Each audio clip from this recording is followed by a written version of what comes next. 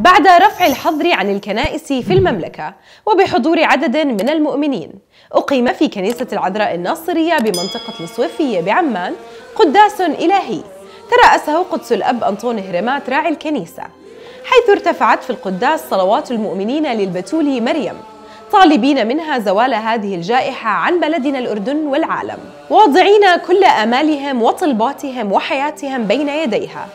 وأكد الأب هرمات في عظته أن صلاة سبحة الوردية مطلوبة منا أن نصليها في كل يوم وعلى مدار العام حتى يرفع الله عنا هذا الوباء ويحمينا منه. قبل أيام قلائل احتفلت أمنا الكنيسة في العالم أجمع بعيد سيدة الوردية. ولا يمكن أن يمر عيد لأمنا مريم البتول بدون أن نتوقف ونتكلم عن تلك التي اصطفاها الله بين جميع نساء العالمين. سبحان ربنا. اختارها ربنا منذ الأزل. منذ الأزل. عندما أراد أن يخلص العالم بواسطة ابنه يسوع المسيح اختار العذراء عليها السلام. وعند البشارة ماذا قال لها السي... الملاك جبرائيل؟ السلام عليك يا ممتلئة نعمة.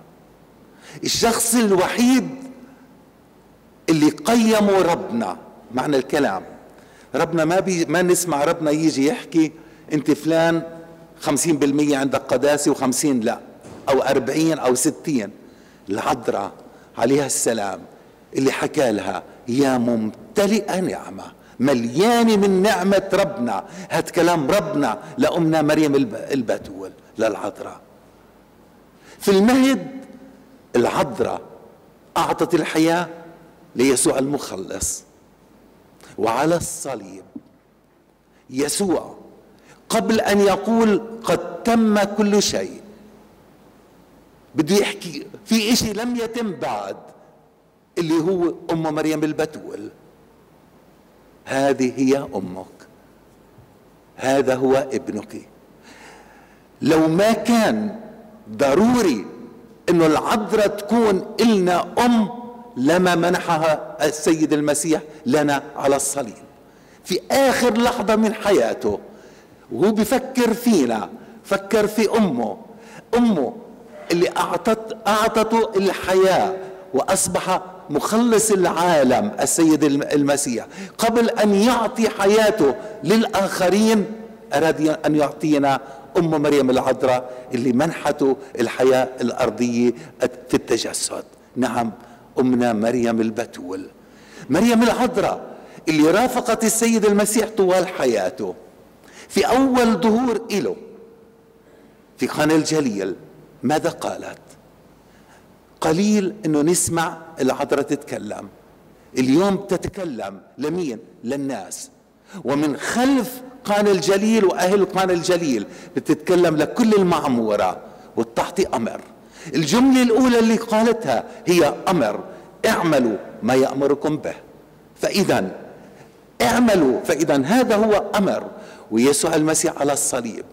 لما قال هذه هي أمك معنى الكلام مفروض فيك تعمل كل ما تطلبه منك. كما هو سيد المسيح بيحكي لنا الإنجيل وكان مطيعا لهما. مفروض فينا إحنا نطيع أمنا مريم البتول وأمنا مريم البتول إيش بتطالبنا؟ في كل ظهوراتها بصلاة السبحة الوردية. وفي الختام دعا قدسه الحضور لأن يصلوا لجميع المرضى والمتألمين والمعوزين. ما ننسى صلاة الصبح الوردية. واجب علينا جميعا لا ننسى أنه ضروري نصلي لاجل رهباتنا رهبات الوردية اللي بيخدموا في رعايانا.